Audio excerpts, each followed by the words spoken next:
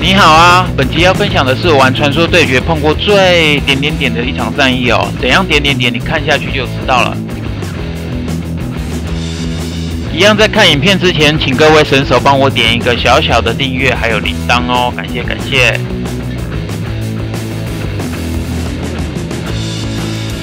其实这一场一开始选角的时候就很奇怪哦，我们的悟空一进来就一直骂赵云。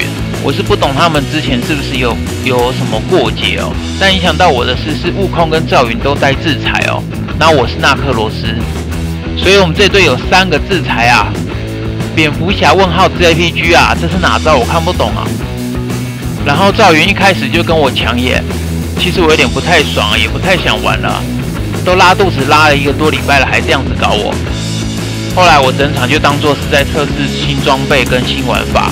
玩法主要是拆塔流啦，下次有机会再跟大家分享心得。这场打到后面还行的是，虽然我们的人头数输给他们，但他们的塔很快就被我们拔光了哦。后来有次机会，趁他们都不在家时，我溜进去偷拆，拆了一半多一点点的血，然后被打挂。因为我还没顶装，但觉得还 OK，主塔已经剩下一半的血不到了，我们胜率已经大大提升了。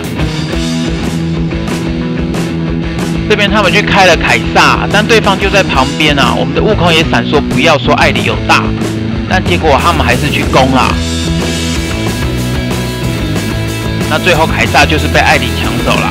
但不管了，他们的主塔只剩一点血，大家随便摸一下就爆了，对吧？好，复活后大伙儿决定要硬攻。把兵线都带进去后，寻找机会，看到右边空了，刺激的来喽。这边我二招上去拆塔，但打了几下被井的暴击喷到，挂了。赵云跟上打，但塔剩一点点，怕被晕到了，也挂了。主塔已经看不见红血了，但这时候我们的大象在塔前，井也滚了一圈，蓄势待发的准备发射。两人都还有八成以上的血，他们只要打一下塔，一下就好，我们就赢了。象哥、景姐，拜托你们了。结果，结果，井射人，他射人，他射人！我的天，天，天呐！然后我们象哥就在主塔前倒下，但这时候景姐闪现到右边，咱们的唯一希望就在他身上了。他不放弃，奋力的往前走。他一个翻滚躲过攻击，好样的！接着只要攻击一下主塔就好了，上吧！干花了，fuck 他一个射人！